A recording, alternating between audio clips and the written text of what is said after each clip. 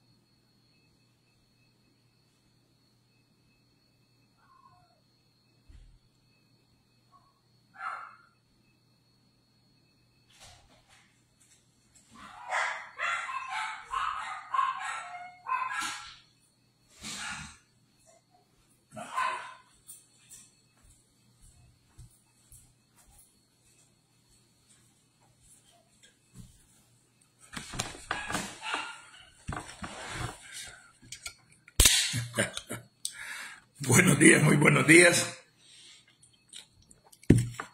Vayan, com- perdón, comunicándose. Ayer, miren, acabamos de tomarnos todas las pastillas como gallinas. Y no hice este. Este video lo estamos haciendo por algunas cosas. Ayer estábamos mal, mal, no hallamos el medicamento. Después me tuve que tomar las pastillas para dormir porque no, bueno, andaba malito. Pero yo tenía que hacer el video, pues. Y te- tenía rato de no tomarme una- las pastillas esas para dormir. Y me tenían baboso. Pero bueno.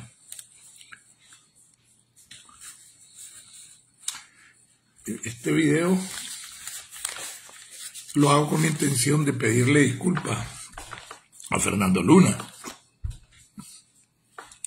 ya que ayer lo estuve toreando y le decía que era sandinista o que era danielista. Para mí no es un pecado hacerlo, ¿verdad? Tal vez danielista sí, o, o danielista sí, pero ser sandinista y ser honesto para mí no es ningún pecado. Mi lucha es contra el, Daniel, contra el danielismo, contra el culto a la personalidad, contra la dictadura. Y decía Fernando Luna ayer cosas importantes. Aquí nadie cae preso por opinar sobre lo que piensa. Aquí nadie tiene que pertenecer a un partido para que te den trabajo. Aquí todo el mundo dice lo que quiere, hasta ofenden. Yo he oído personas que le dicen unas vulgaridades a, al- a la esposa del presidente. Pero eh, se hace necesario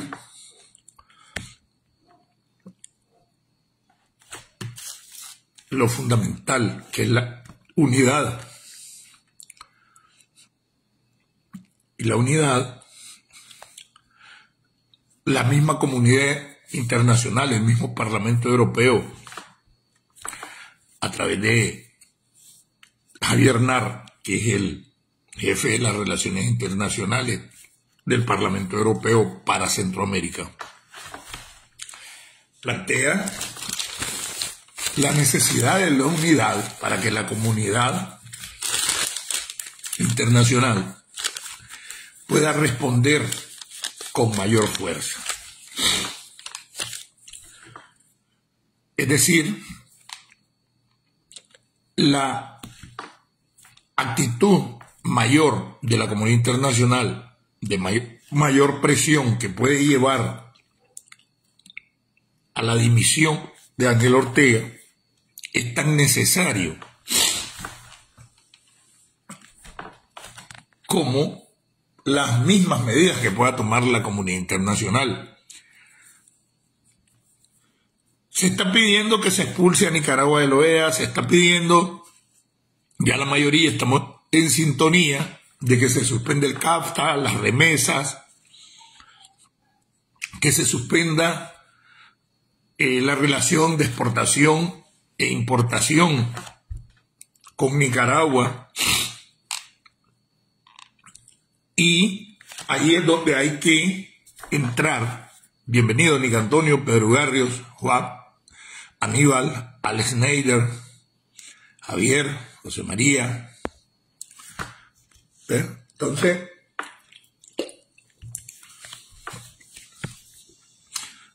en un análisis, este video es corto, ¿verdad? Es mi video de, video de la mañana. Ahí es donde hay que entrar a un análisis. Bienvenido, Irving. Del por qué la necesidad de la unidad. Bueno, es que la comunidad internacional puede tomar las medidas. No, el problema es que la, comunidad internacional ha venido impulsando algunos trabajos hasta que salió el liderazgo que estaba preso por su propia cuenta. Porque en los dos años casi que estuvo Itair Bin que era uno de los presos, bienvenido, en los dos, años casi que tuvo el liderazgo preso, nadie hizo nada para hacer avanzar la lucha. Nadie. Nadie, nadie.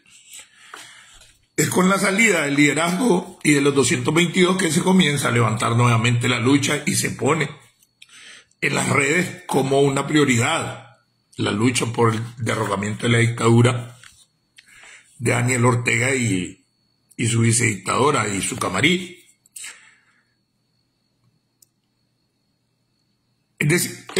se pudiese haber dicho que la comunidad internacional estaba haciendo algo que Nicaragua no se lo había pedido, aunque lo quería. Entonces, ahora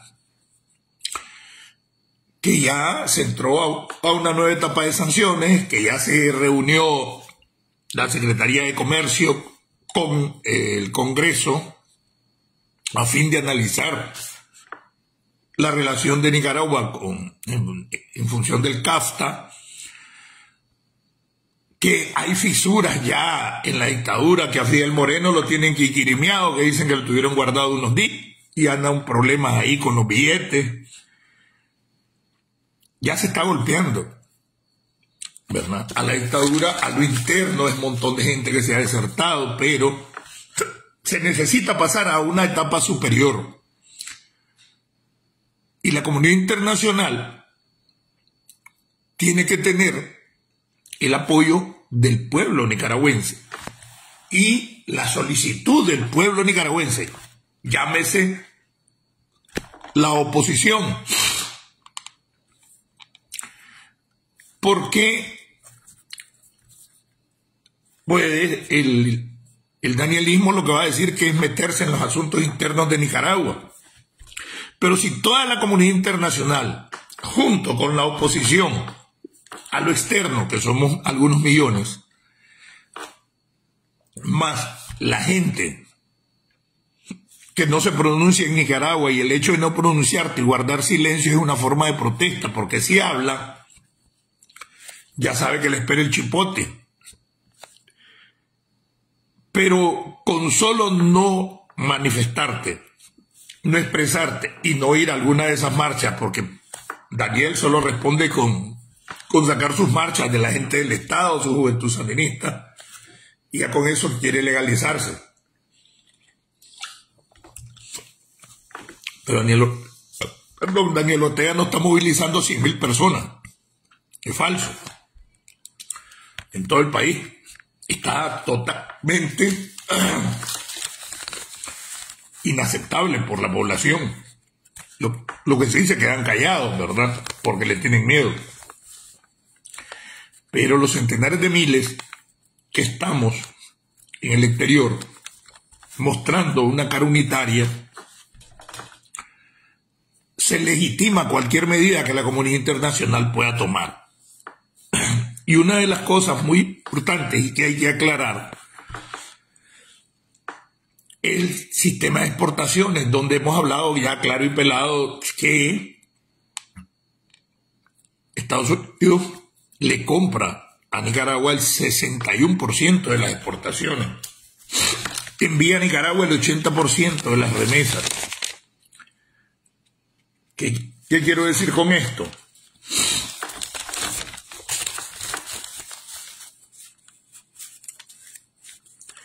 Que Estados Unidos tendría el papel preponderante en importancia a la hora de tomar medidas económicas más fuertes. Pero ¿cuál es la situación? Hay algo que se llama libre mercado. Hay algo que se llama libre comercio internacional. Que quien compra las exportaciones a Nicaragua, en su mayoría, son empresas privadas. Y en Estados Unidos hay un respeto irrestricto sobre la empresa privada. Entonces se hace necesario toda empresa, todo lo que tiene un fin mercantil, no se hace por beneficencia pública, no, se hace para producir ganancias. Por eso eh, es una actividad mercantil, ser una sociedad anónima, una corporación bancaria, lo que sea. Pues.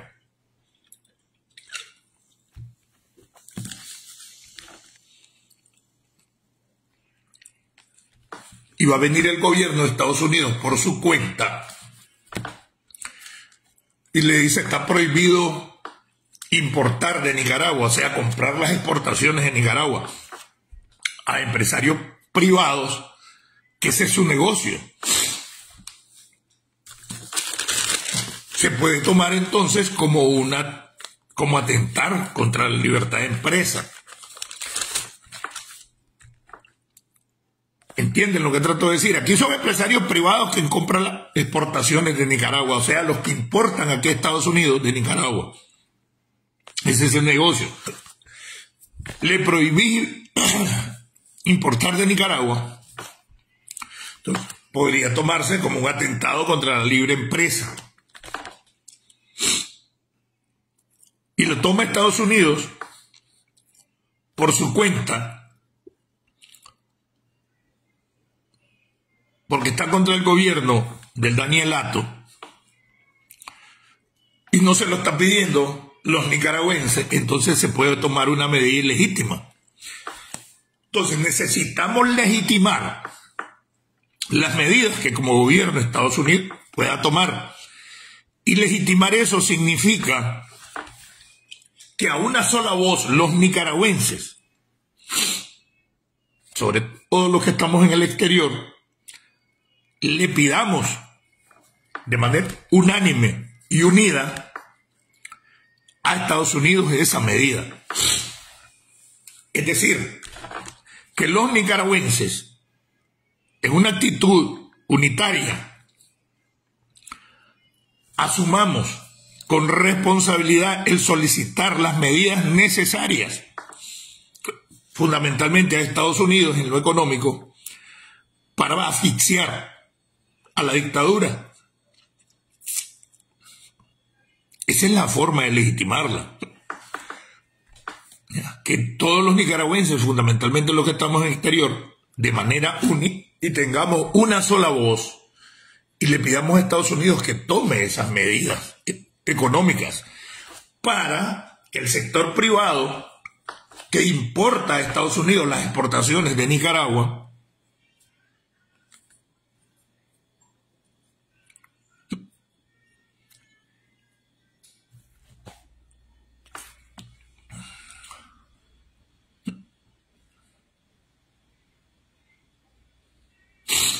y al ver una comunidad unida pidiendo lo que estamos pidiendo, los empresarios privados que compran las exportaciones de Nicaragua, pues van a aceptar de mejor manera la medida, porque eso es un negocio.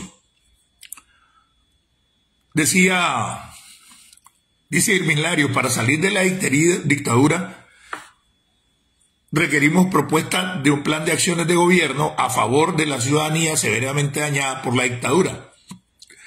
Plan de acción de resistencia que incluye dos ámbitos. Apoyo de las acciones de la resistencia interna. Solicitar a la comunidad internacional que deje de financiar multilateralmente a través de la banca al régimen. Bueno, eh, creo que eso se ha estado haciendo pero eh, lo fundamental creo que no está viniendo ahorita de la banca en relación a la economía, cómo circula la mercancía. Está en la relación exportación e importación. Porque puede hacer de que se deje de financiar multilateral o bilateralmente a través del sistema financiero internacional pero te siguen exportando. Y quienes exportan ahora es la nueva empresa privada que funciona, valga la redundancia, en función del Danielato. Entonces la relación importación-exportación, sin el financiamiento multilateral o bilateral, como lo dice nuestro amigo Irving Lario,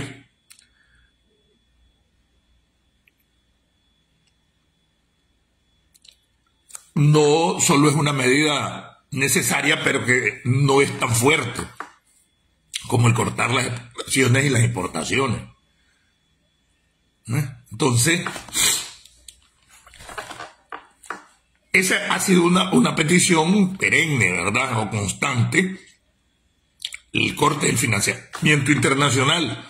Llámese BESI, llámese Banco Mundial, llámese Fondo Monetario, llámese BID, que siguen teniendo relaciones con la dictadura. ¿Por qué? Porque actúan como banco, buen pagador, buen ejecutor del, del billete, aunque sea con maquillaje, el banco te sigue soltando porque actúa como banco. Pero, aparte de esta medida, hay que cortar las exportaciones y las importaciones.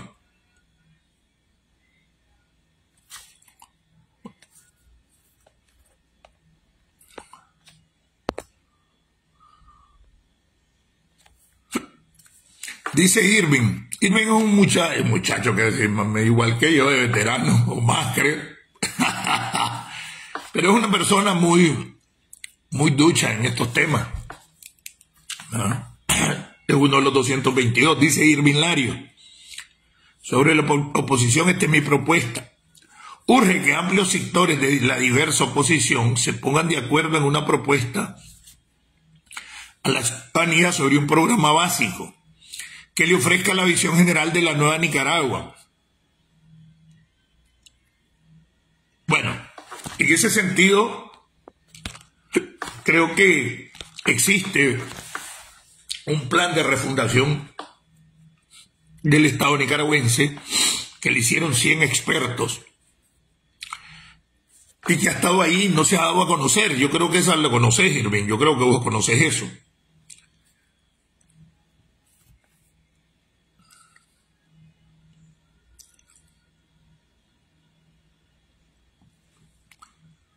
Entonces, creo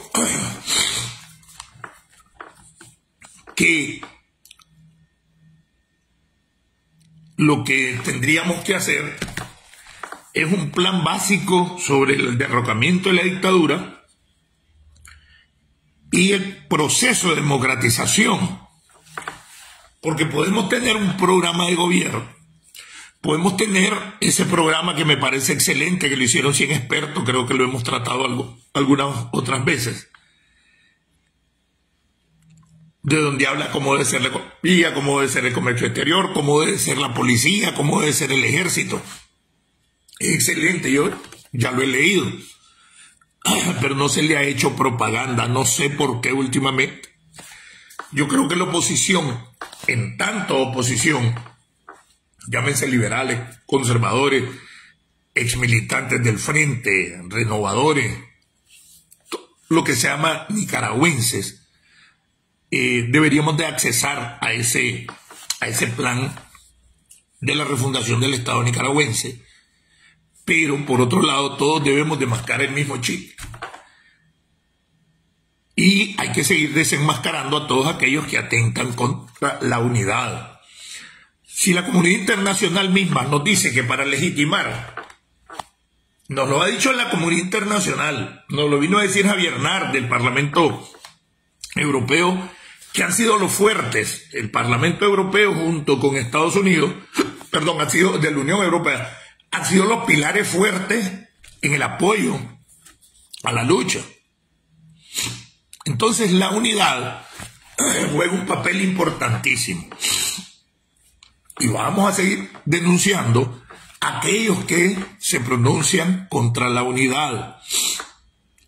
Sobre todo aquellos que tienen décadas de vivir en Estados Unidos y no van a ir a Nicaragua ni a votar, ni a vivir, sino que les interesa mantenerse en el hit de la política porque son dirigentes de hace décadas del exilio, no en función de la libertad de Nicaragua, sino en función de beneficios que se obtengan del Estado norteamericano para los residentes o la diáspora, como se conoce. Entonces es necesario seguir denunciando a aquellos que pretenden ideologizar esta lucha. No se puede ideologizar esta lucha.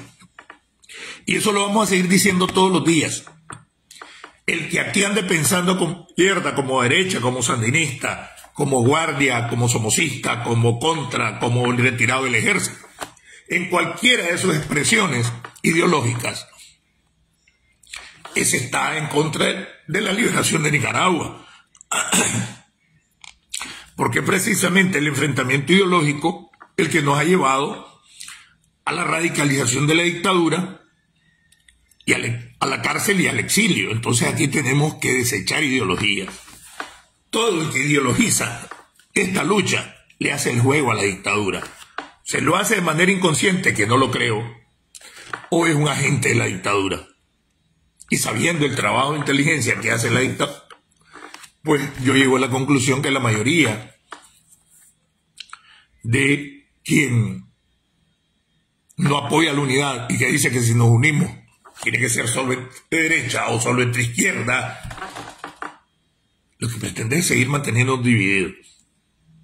Y si la comunidad internacional nos está diciendo que, es necesario para la comunidad internacional, para legitimar la acción de la comunidad internacional, que exista una plataforma de unitaria. Entonces la unidad es fundamental porque es precisamente el principal eje de ataque que usa la dictadura, que estamos como perros y gatos, que nos estamos matando entre nosotros, que el pleito es por dinero. Y ese sector que se opone a la unidad también anda hablando de dinero, le están pagando el Departamento de Estado, pero que demuestren que a la oposición o a la dirigencia real le están pagando. No lo pueden demostrar porque es mentira, pero el, tapazo, el tapazo es por los billetes, el saco, la corbata y, y eso es lo que venden ahí adentro, más otro sector que anda promoviendo la guerra, que nunca se va a dar. Y lo que ha, que ha permitido, pero es que no hay ningún billete, Gabriel Ernesto López. Demostrame vos a mí a quién le están pagando y cómo le están pagando. No hay una sola prueba. Imagínense esa gente que dice que es derecha y que no quiere unidad. Lo que ha sacado son las mismas pruebas que inventó, que inventó la dictadura para condenar a varios allá, lavado de dinero. Las mismas. Ahí sacaron las mismas pruebas que utiliza la dictadura. ¿Cómo no te vas a dar cuenta que esos son agentes de la dictadura que promueven la división? Entonces, eh, la comunidad internacional se puede hasta cansar de estar viendo que cuatro babos provocan la unidad y le hacen coro en las redes, aunque no tengan gente. Pero los medios de comunicación, y que hoy están más en las redes que en otro lado, juegan un papel preponderante. Sí, ese es un cuento de, la dictadura. Es más, ni, ni voy a hacerle mucho swing, porque lo hemos aclarado. Si usted aquí me demuestra, Gabriel Héctor López Ángel, que es verdad que esos millones, demuéstreme. Si no, no sigamos hablando del tema. Exacto. Entonces, aquí me está haciendo propaganda del gobierno. Si no, mejor jalate, porque aquí no vamos a permitir la propaganda del gobierno. Sí, aquí yo no estoy para darle dando pase a la propaganda del gobierno. Demuéstreme usted quién financia Maradiaga, porque usted lo está planteando. Demuéstremelo. Un solo documento legal. Los Estados Unidos no sueltan un real si no es Nos vemos, Gabriel Ernesto. Aquí lo que estás haciendo es propaganda que no va con este programa. Lo siento. Aquí yo no estoy para estar dándole swing a lo que dice la dictadura. Se fue Gabriel Ernesto. La Irlanda aquí no es preponderante, ni, ni una, una dirigente que tenga arrastre. ¿Quién financia la Irlanda? ¿Quién financia? Preguntándome lo mismo que dice la dictadura. Entonces aquí no tiene cabida para nadie que venga. Si alguien aquí, en vez de estar diciendo estas tonterías, me dice, aquí está que demuestre el financiamiento, pero lo que venga a hacer bulla nada más, sin tapa y no demostrarme una prueba, lo que está haciendo es el volado a la dictadura y aquí no tiene cabida ninguna propaganda que tenga en función la división. Se fue Gabriel Ernesto. Nadie ha demostrado que aquí estén financiando a Maradiaga, solo las tapas de cuatro de la Florida. Ni a, ni a Lester. Ah, bueno, que son los mediáticos, esa es otra cosa. ¿Por qué los que se creen dirigentes, por qué no los tomen en cuenta Estados Unidos? Eso es lo que se vienen de poner a pensar, ¿por qué no los toma en cuenta Estados Unidos?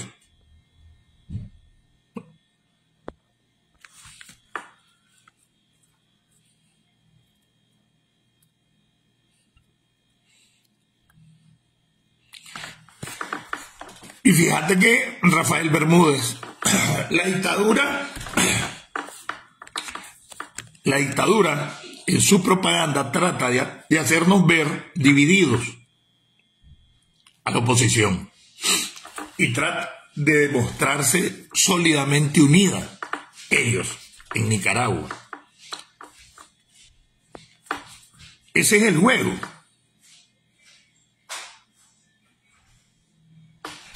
Por eso lo corté, porque ese, es lo que quería era aprovecharse de este medio para venir. Nunca ha entrado aquí, pues nunca está en, en, este programa. Y desde que entra en ese plan, lo corté. Porque lo que está haciendo es la misma propaganda y aquí no la van a hacer en mi medio, olvídense. Y no voy a entrar a discutir con nadie ese tema porque eso es lo que quieren. Pero aquí que me demuestren cuáles son los billetes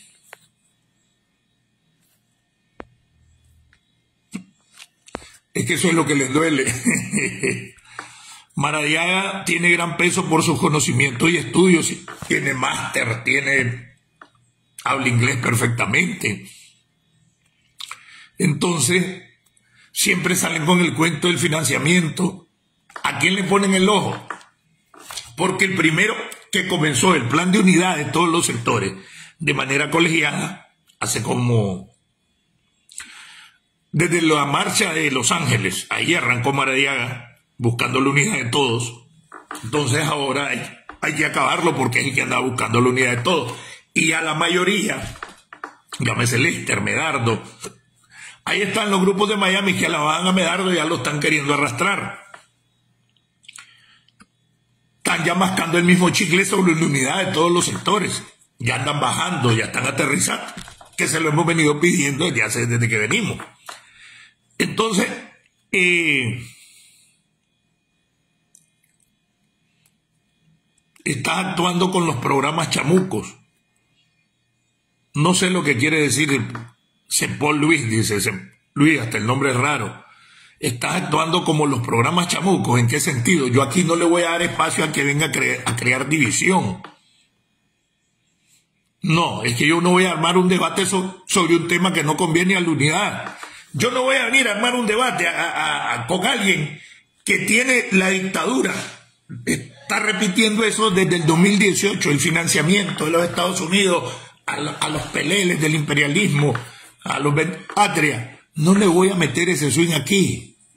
Ya, yo voy aquí a tratar de que se agarre la idea de cuál es, pero yo no le voy a dar espacio a un debate de ese tipo. No voy a caer en ese juego. Y una cosa es que te guste el debate y otra cosa es que querrás vender una idea y aquí no es tema de debate. Eso del financiamiento del gobierno de Estados Unidos a la oposición. Ojalá que fuera cierto para poder hacer algo. Entonces yo no voy a debatir con quien pretenda vender ese tipo de ideas, ni con vos. Quien pretenda aquí a tomar el tema de debate de que va a crear la idea a unos que están haciendo negocio, que es lo que quieren que crea la gente, en mi medio no lo, va, no lo voy a hacer y al que lo plantee lo voy a bloquear, porque yo no voy a servir como otros medios para promover la división y dar a creer que aquí andan haciendo reales un montón, lo cual es mentira. Entonces, la unidad no se plantea con los malintencionados, así es que mejor se no siga molestando. Sí, yo por eso he dicho que todos esos que andan promoviendo la división, lo que hay que hacer es no ponerle mente. Jale, como dice, bloquearlos de nuestro sistema para que no lleguen. ¿Me entiende? La unidad es en lo que nos hace coincidir, no en lo que nos dividen. Así es que no me estés con ese cuento, Paul, conmigo que estás en la misma línea, pero aquí te puede ir también. Nadie que me venga a promover aquí la división lo voy a aceptar en este programa. Este programa es para la unidad. Y aquí no vamos a debatir, hacer desconfianza dentro de la propia oposición. Es, necesario. Igual que la contra. La contra es asesina. Los militares del ejército sandinista cometieron crímenes, la contra también. La guardia de Somoza criminal, condenada por el mundo. Entonces no vengamos aquí a meter ideología de manera sesgada. ¿Ves? Y aquí no se rechaza a nadie, aquí se va este programa, no lo rechazo, lo bloqueo y jale al que venga a promover divisiones o temas que promovesen división. ¿Y qué me importa a mí?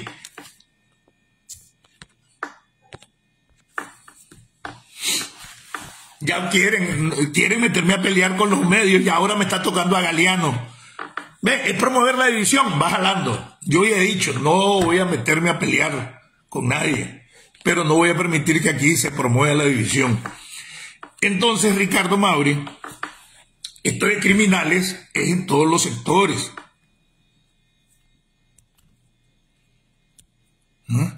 En todos los sectores. Esas colas están en todos los sectores. Los liberales acompañaron a Somoza, que era un criminal con 50 mil muertos a tuto,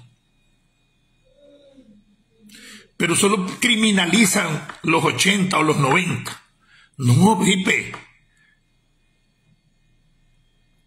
Aquí todo el mundo tiene una cola, la guardia, los somocistas, los sandinistas. Entonces, ya cuando decir los criminales de los 80, ya tenden una tendencia. Y los criminales de los 70, que son los que están en Miami y son los que están molestando por la división. Entonces, ahí es donde tenés que quitarte el peso ideológico. A decir que vos defendés porque son los de los 80. No, porque yo me dirijo a un sector que es sumamente idealista, que apoya de manera honesta a Daniel Ortega. Y allí no tienen las manos manchadas de sangre. A como hay un sector que apoya a Daniel Ortega de manera deshonesta, con las manos manchadas de sangre, son torturadores, perseguidores, pero hay un sector ahí que no es deshonesto y que cree de verdad en que, en que Daniel Ortega es el Mesías. Entonces, la unidad es quitarte la camisa de liberal, la camisa de sandinista, la camisa de renovador, la camisa de conservador, la camisa de somocista. Quitarte esas camisas y ponerte la camisa azul y blanco. Esa es la unidad. Es decir, todas esas, esos tintes ideológicos o matices ideológicos que acompañan a todas las personas a hacerlas a un lado, entrar a un proceso de democratización. ¿Verdad? Exacto, José Antonio Quiñones.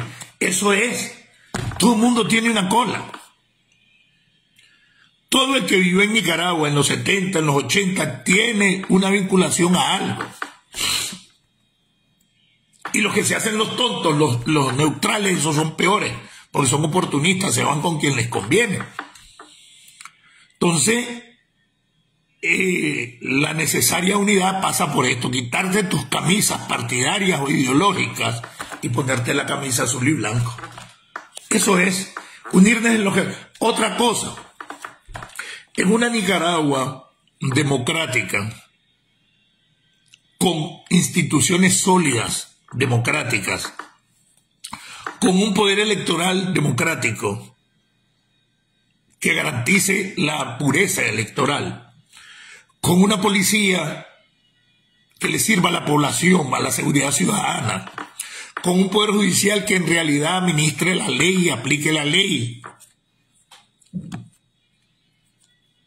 con una fiscalía que no acuse políticamente o ideológicamente, sino que acuse cuando haya que conocer cuando se violan la seguridad ciudadana, llámese contra verdaderos delincuentes. Entonces, con una estructura de instituciones sólidas democráticamente, pues se va a permitir, una vez que se haga ese proceso democratizador, llegar a elegir y ahí que cada quien se ponga su camisa política. En una Nicaragua democrática, estamos claros que si los liberales no se hubieran dividido en el 2006, hubieran barrido con Daniel. Culpables.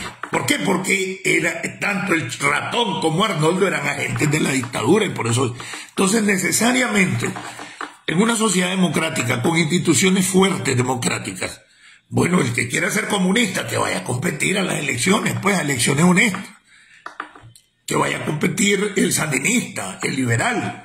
Yo estoy seguro que las fuerzas democráticas van a ganar cualquier elección si se hace de manera honesta. Si es una sociedad con instituciones democráticas sólidas. Entonces, lo que nosotros tenemos que quitarnos la camisa política, la camisa partidaria, la camisa ideológica, salirnos del encasillamiento mental de los 80, de los 70 y de los 90, porque seguimos pensando como en los 80, como en los 70 y los 90, salirnos y avanzar con una mentalidad que nos lleve al año 2023, al siglo XXI, en el fin de su primer cuarto de siglo. O sea, nosotros tenemos que evolucionar o reevolucionar, no revolucionar, reevolucionar nuestro pensamiento. Seguimos pensando en los 80, seguimos pensando en los 90, seguimos pensando en los 70. Ubiquémonos que estamos en el 2021, que la mayoría es la juventud, que la mayoría de la juventud no le interesa la política. Pues hay que interesarlos, porque hay que poner a la juventud a la cabeza de todo esto. ¿Por qué? Porque si no vamos seguir siendo políticos antiguos, políticos del pasado, pensando en los 90, pensando en los 80, pensando en los 70, en los 60, seguir siendo danielistas, seguir siendo eh, somosistas, seguir siendo istas, istas, istas. ¿Entienden? Entonces eso es lo necesario. Que esas istas las, practiquemos si queremos una vez que tengamos una sociedad democrática. Esa es la verdad. Deme un toque que se me está yendo la batería.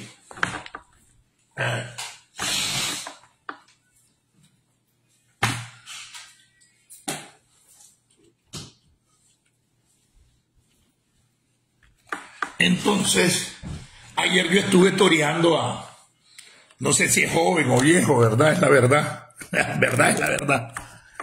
Este muchacho ¿cómo es que se llama? Fernando Luna. Pero yo quería, lo que quería era promover el debate y casi no se daba.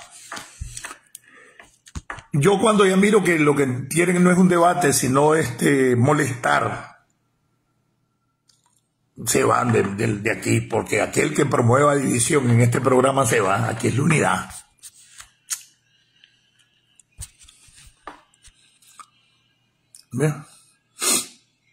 Porque hay gente que no te suelta la guitarra y, no deja opinar a los otros y, te, quiere imponer el programa su agenda. No, aquí mi agenda es la agenda de la unidad. Cualquiera que promueva división se va. ¿Para qué lo quiero tener aquí? Si el objetivo del programa es promover la unidad. Entonces, ese es el asunto eh, que yo planteo quitarte la camisa del guardia, hay que unirse con el guardia, hay que unirse con el ex contra, hay que unirse con el sector que anda promoviendo lucha armada sabiendo que es imposible.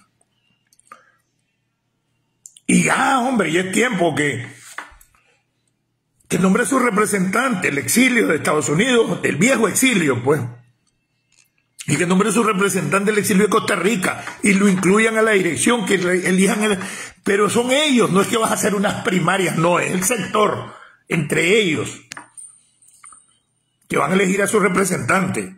Los tranqueros tienen que tener un representante, que lo elijan, que lo elijan ellos. Y ahí ya están los liberales, ya están los exandinistas, sandinistas, eh, que renunciaron al danielismo.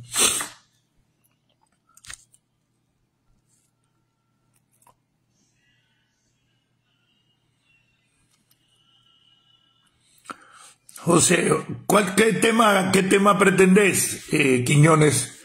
Parece que querés participar en el en vivo. ¿Qué tema querés que toquemos?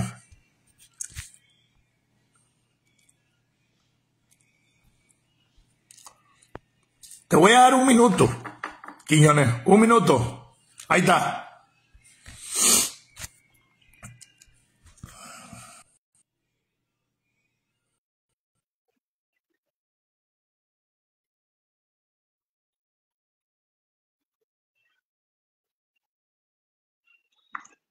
¿Algún otro que quiera opinar? Eh, la unidad chino. Eso de quitarse la camisa de sandinismo, eh, asesinos de la contra, asesinos de los somocistas y olvidarnos ya, el, somocismo es un cadáver histórico. Sandinismo está muriéndose.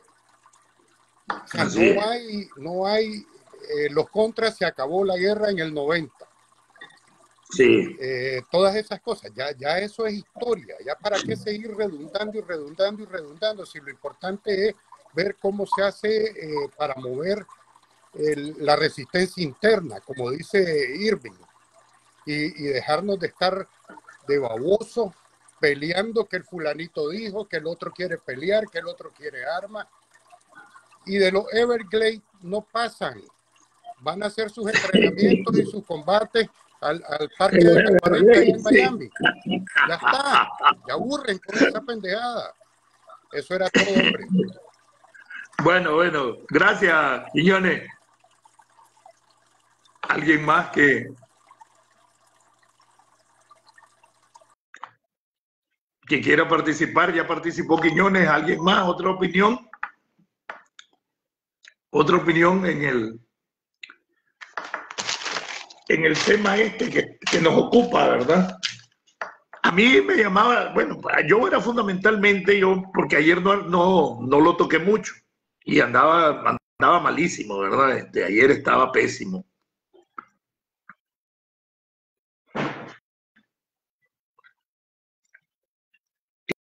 El problema, Ricardo Mauri, es el siguiente. Ya los Estados Unidos no actúa por la fuerza en América. Eso tenés que metértelo en la cabeza. Porque precisamente cualquier golpe militar lo que va a guiar es más división de la sociedad. Los derrotados van a quedar enchilados, los derrotados van a querer venganza y esto va a seguir. No se trata de eso. No, no va a pacificar ni estabilizar la sociedad nicaragüense con golpes militares. Eso es falso. Golpes militares de ese tipo. Ahora, distinto es que el ejército le pida la renuncia a Daniel Ortega y le dice renunciar y asumimos el orden interno del país para una nueva sociedad democrática. Pero cuando promueve ese tipo de asuntos, Ricardo Mauri, precisamente los Estados Unidos son los que promovieron algo que se llama la Carta Democrática Interamericana, que es la famosa Carta Democrática de la OEA.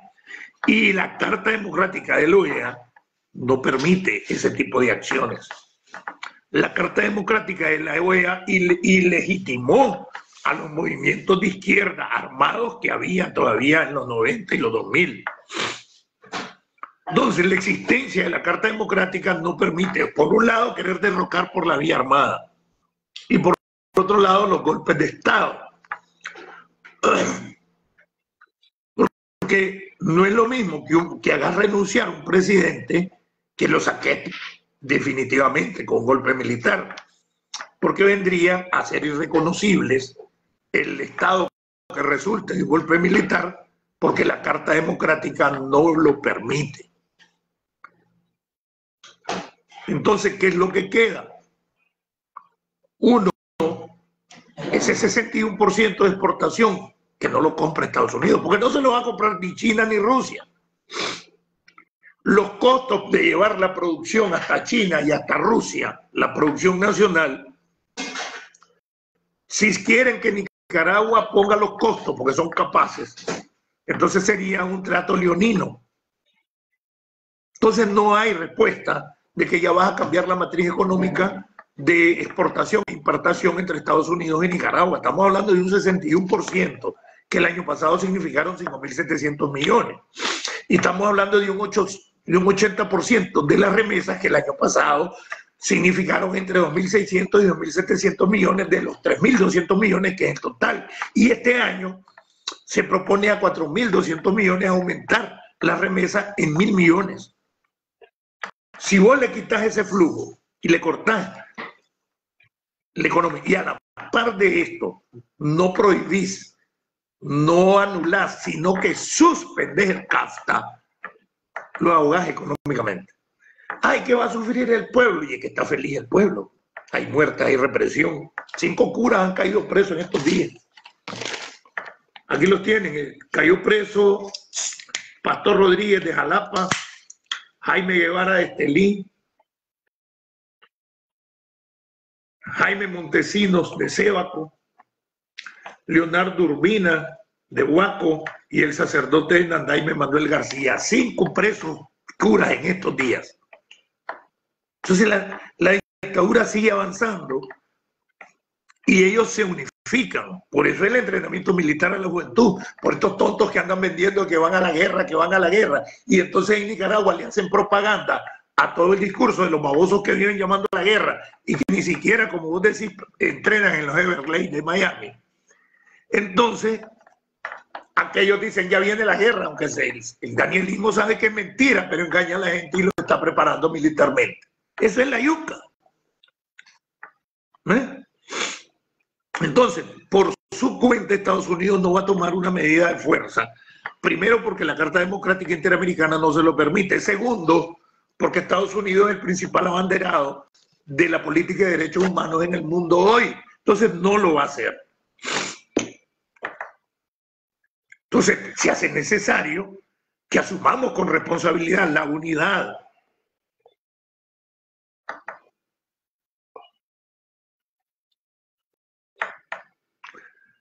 Tampoco voy a caer en ese juego, Mauri.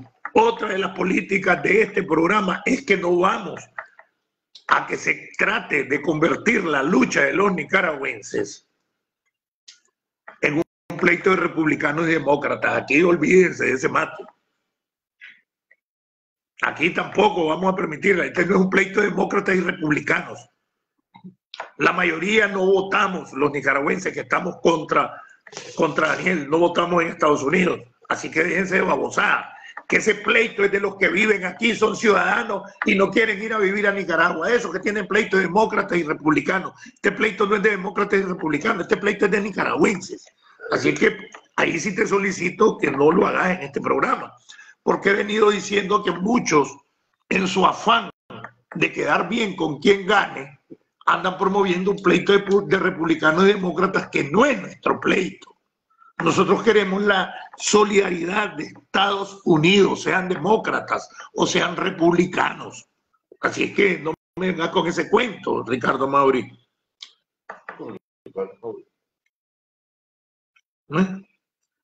Eh, porque es mentira. Con los republicanos se trabajó cuando estuvo Trump. La lucha del 2018 estuvo dos años con Trump en el poder. Y ahora se está con Biden. Entonces este pleito no es de republicanos ni demócratas, es de nicaragüenses, para que no nos enredemos. Esos son para los que viven aquí de manera permanente, ese es su pleito. Por eso es que no les interesa Nicaragua, porque lo que les interesa es beneficio en Estados Unidos. La gran mayoría de los que andan en luchas políticas a lo interno de Estados Unidos. No, aquí van a ser demócratas o republicanos. Vamos a solicitar siempre la solidaridad de Estados Unidos.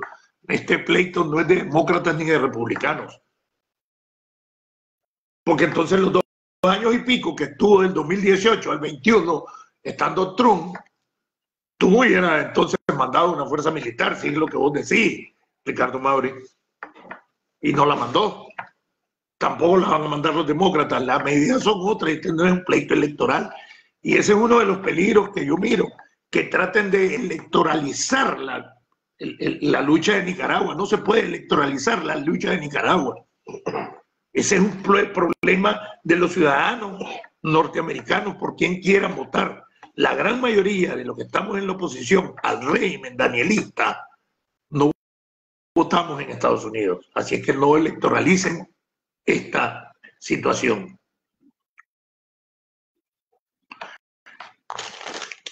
Y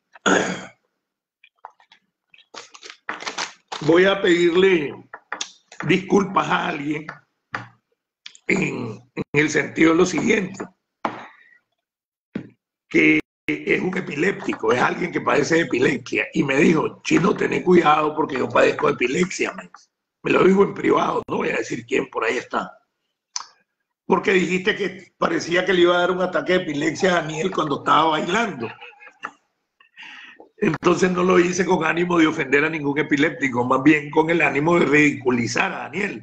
Así que cualquiera que epiléptico que se haya sentido ofendido, pues yo le pido disculpas. Por eso pues le dije que parecía la momia blanca de Titanes en el ring. Esa es la muestra más evidente de cómo el sandinismo histórico ha abandonado a Daniel, que Daniel anda queriendo bailar entre jóvenes, Antier salió con una camisa roja, chinga, quiere parecer chavalo, pues. ¿Por qué? Porque los chavalos a quien apoyaban era la Rosario, los chavalos del Danielato. Ahora necesita que esos chavalos lo acepten directamente a él porque ya los viejos sandinistas no queremos nada con él, lo que, lo que luchamos. ¿Ya? Entonces, inclusive hemos, nos hemos quitado la albarda ideológica del sandinismo para poder avanzar, ¿verdad? Con la camisa de nicaragüenses. Entonces, ese es el patín de Daniel. Lo otro es sobre los buses. Esos buses, a ver, yo era el abogado de la mitad de, la, de, los transportistas de la cooperativa Pedro Joaquín Chamorro, de la ruta 113. Y me doy cuenta de que esos buses se los dan a un precio excesivo después de que a ellos prácticamente no les cuesta nada porque es chatarra. Es el bus que ya no se utiliza en Rusia. Y se los dan a precios exorbitantes a tantos años.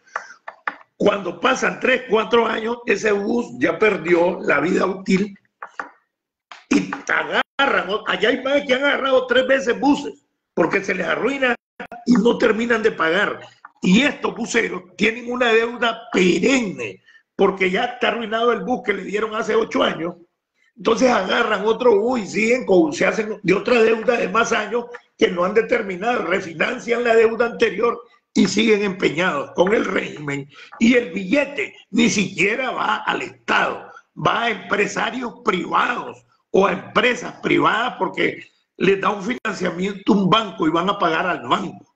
Es generalmente un negocio, eh, lo de los buses, y Daniel haciendo una propaganda de que le vamos a dar 10 buses de Estelí como que lo están regalando. No, se los están vendiendo. Es que son sinvergüenza y no es el Estado el, que agarra ese billete. Es una empresa privada creada para tal fin. Y la gente, yo no sé por qué se percata y cree que Daniel le está regalando un bono, no le está regalando ni M. Se lo está dando. No les cuesta prácticamente con los rusos, porque nos están mandando la chatarra vieja, los más atrasados. Y por otro lado, le venden el bus a precio exorbitante a tantos años a pagar cuotas diarias o mensuales por el bus que nunca terminan de pagar, porque cuando este bus se les arruina tienen que agarrar otro bus ruso.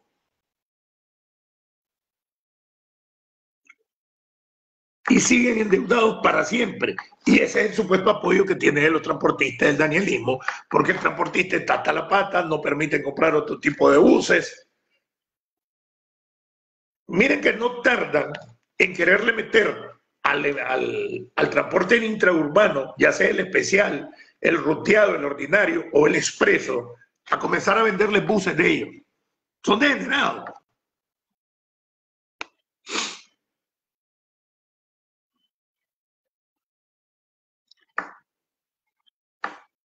Así es. Así es, Ricardo Mauri. Entonces, ese, ese negocio de los buses es un negocio para, que además de negocio lo asumen con una actitud de engañatontos. Imaginen cómo es posible que vienen los buses de Corinto en Corinto sacan un grupo de sandinistas con bandera, pasan por el puente de los encuentros en Chinandega, por el, por el empalme de los encuentros, donde está la rotonda para doblar para Chichigalpa. Ahí ponen otro piquete, otro piquete en Tipitapa, otro en la salida de Pozoltega, otro piquete en León. Los pasan por el medio de las calles de León y van los buses y convierten el traslado de los buses de Corinto a Managua en una actividad política nacional que no es gran cantidad de gente, si es cierto. Ustedes se fijan que no son 100 personas que salen en cada pueblo con sus banderitas, son los sapos.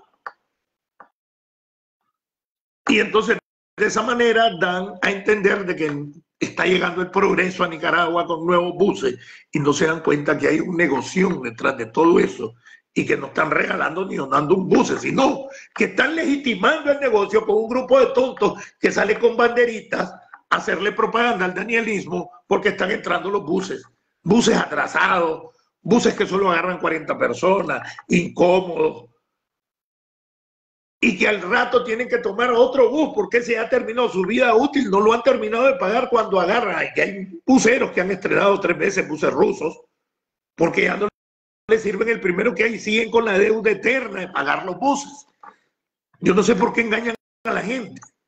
Y eso lo sé perfectamente. Eso aparte del robo descarado en el cual participa Luis Danilo Sánchez, presidente de Orecotraco, y un grupo de, de directivos de cooperativas de buceros en los departamentos. El business que porque instalan gasolineras en las cooperativas. Business de una sola persona. Y aparte de eso, le roban al que no cumple con sus caprichos el subsidio que le dan a los transportistas. El robo descarado al subsidio, se roban, no le entregan. Hay aquí varios centenares de buceros que no reciben el subsidio de transporte y el cheque sale a su nombre, porque los cheques salen a nombre de las personas. ¿Y cómo hace el Ministerio de Finanzas si no le entrega personalmente esos cheques a los buceros, sino que se los entrega a Danilo Sánchez, presidente de Brecotraco? ¿Cómo hacen para cambiar esos cheques? O sea que la corrupción está no solo en el dirigente gremial, en este caso Grecotraco, sino que está en los funcionarios del Estado que le entregan el subsidio a estos dirigentes del transporte que no se lo entregan a los transportistas. ¿Por qué se lo entregan? ¿Cómo hace para cambiar esos cheques que están a nombre de los transportistas? ¿Y por qué se los entregan a Danilo Sánchez?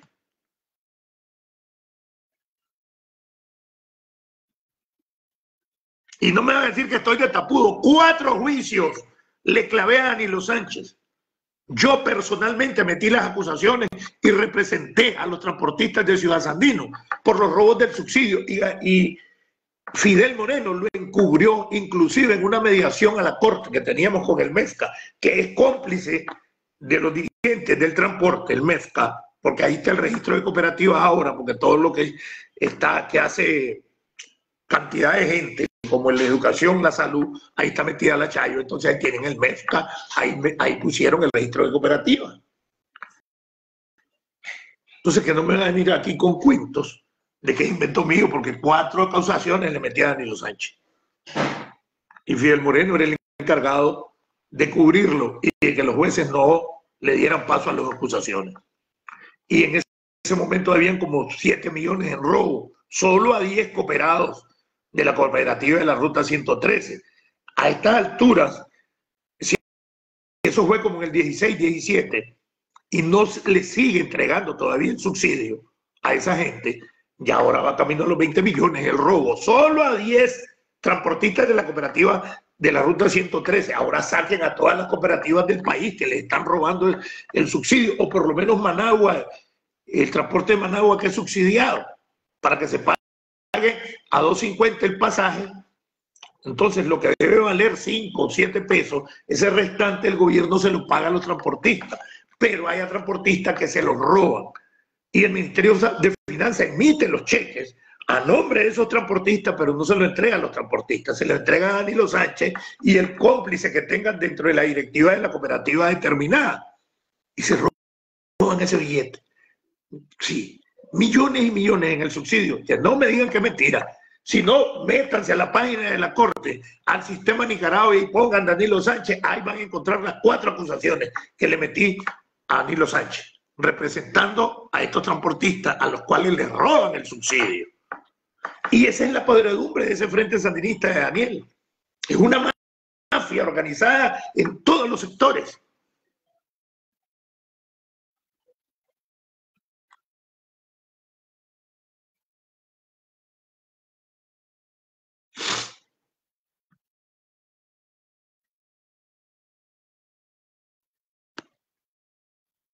Bueno, ya quería aclarar un poco, pues algunas cosas que no, que no le metí mucho a lo, del congelamiento de las cuentas. No solo le están congelando las cuentas a la Iglesia Católica, a varias instituciones evangélicas. Recuerden que eh, los primeros que se vieron afectados fue el sector evangélico que les desconocieron como más de 100 organizaciones evangélicas. Le quitaron la personalidad jurídica. Ahorita le han quitado a otro montón, tienen varios. Andan presionando a God Samaritan Baptist Mission, del cual yo era asesor, y parece que le quieren caer a las propiedades. Yo tengo las escrituras de las propiedades. Bueno, están en Nicaragua, están en buen resguardo. Voy a tener que también me contrató la directiva mundial de Good Samaritan Baptist Mission, por eso es que yo no le entregaba a Nicaragua, porque mis reuniones las iba a hacer a Honduras, ahí estaba la base internacional de Good Samaritan Baptist Mission. Pero espero que me llamen, ojalá que alguien me esté viendo de Villarrica, Georgia, donde está la base mundial, para poder hacerles entrega y decirles dónde van a ir a traer, porque en mi casa no están. Tengo los documentos como de 70 propiedades, parece que se las quieren robar. Entonces le hago un llamado a Good Samaritan Baptist Mission que se comunique conmigo para decirle dónde pueden ir a tener los documentos de las propiedades.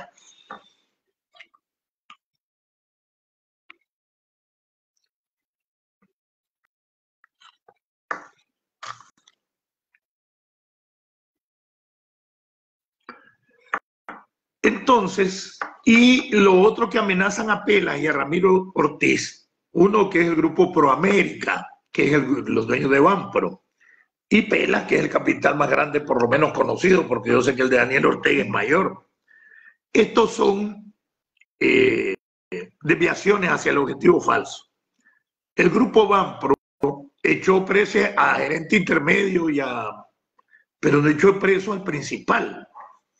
Porque en el, el, grupo Banpro yo tengo conocimiento que ahí hay capital, ahí está Vallardo Arce metido, ahí están varios, y si él los pela, pues yo estoy seguro que los pelas hicieron, te, hacen esta ferrería con el frente y los están amenazando a través del tapudo del Chele Grisby, pero eso es para legitimar lo que van a hacer contra otros y no van a hacer nada contra ellos, van a ver, lo amenazan y ya, lo, ya están teniendo, entonces ellos se comienzan a portar bien. Mentira, son aliados de ellos. Pero esto legitima las acciones que están haciendo contra las propiedades de otros que no se le unen o se alían al danielismo. Fijo, fijo que eso es.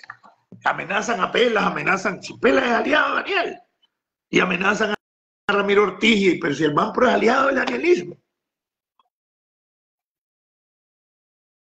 Pero es para legitimar las acciones que están haciendo contra otros. Ah, ya pusieron a bailar a, los máximos capitalistas de Nicaragua, ya amenazaron a Pela, entonces se quedan calladitos todo aquel que quiera hacer una medida y el que le haga le caen a su propiedad.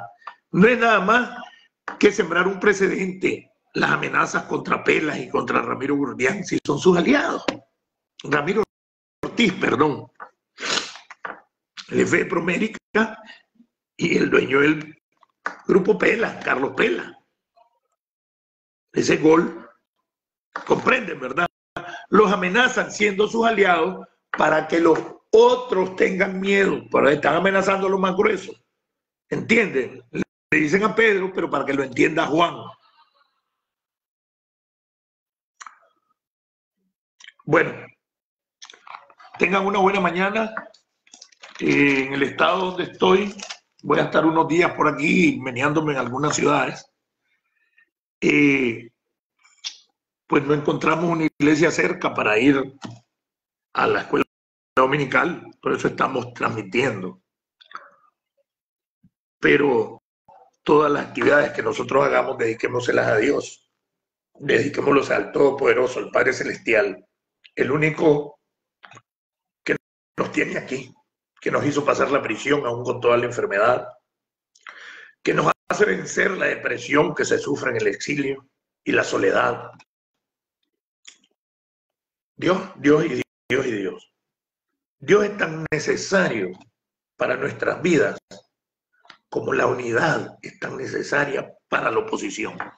Desde Estados Unidos, tierra de democracia, libertad y oportunidades, les habló desde el programa Todos Somos Nicaragua o Nicaragua Somos Todos, Marlon Gerardo Sáenz Cruz, el chino, eh, no, patria libre para vivir.